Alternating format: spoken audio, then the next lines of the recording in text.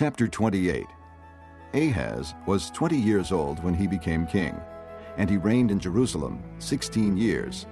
Unlike David his father, he did not do what was right in the eyes of the Lord. He walked in the ways of the kings of Israel and also made cast idols for worshipping the Baals. He burned sacrifices in the valley of Ben Hinnom and sacrificed his sons in the fire, following the detestable ways of the nations the Lord had driven out before the Israelites. He offered sacrifices and burned incense at the high places, on the hilltops, and under every spreading tree.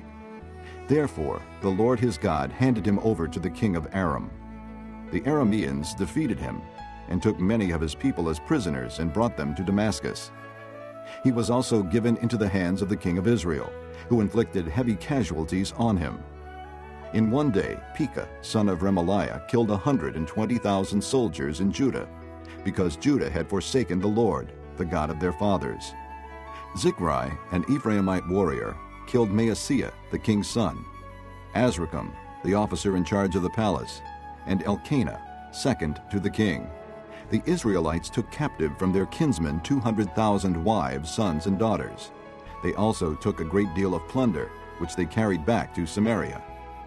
But a prophet of the Lord named Oded was there, and he went out to meet the army when it returned to Samaria.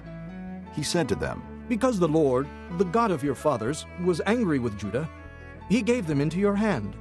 But you have slaughtered them in a rage that reaches to heaven.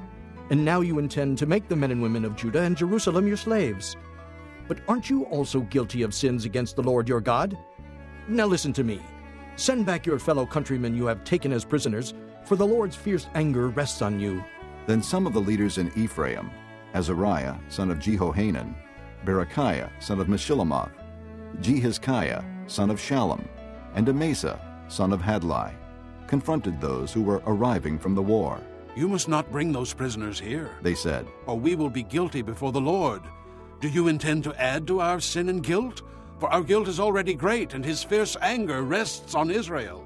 So the soldiers gave up the prisoners and plunder in the presence of the officials and all the assembly.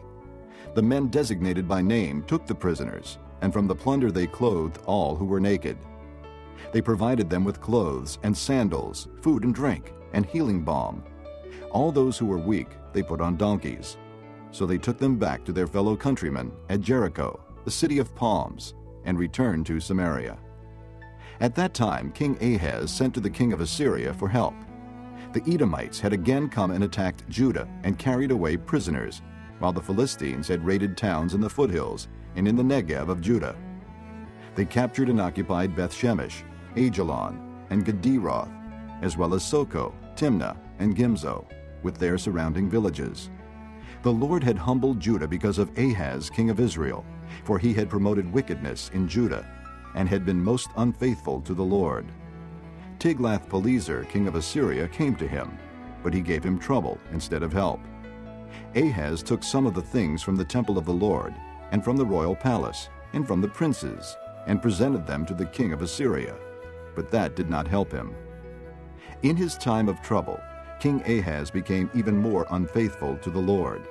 He offered sacrifices to the gods of Damascus, who had defeated him, for he thought, Since the gods of the kings of Aram have helped them, I will sacrifice to them, so they will help me.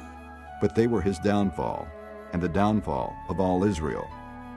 Ahaz gathered together the furnishings from the temple of God and took them away. He shut the doors of the Lord's temple and set up altars at every street corner in Jerusalem. In every town in Judah, he built high places to burn sacrifices to other gods and provoked the Lord, the God of his fathers, to anger. The other events of his reign and all his ways from beginning to end are written in the book of the kings of Judah and Israel. Ahaz rested with his fathers and was buried in the city of Jerusalem, but he was not placed in the tombs of the kings of Israel. And Hezekiah, his son, succeeded him as king.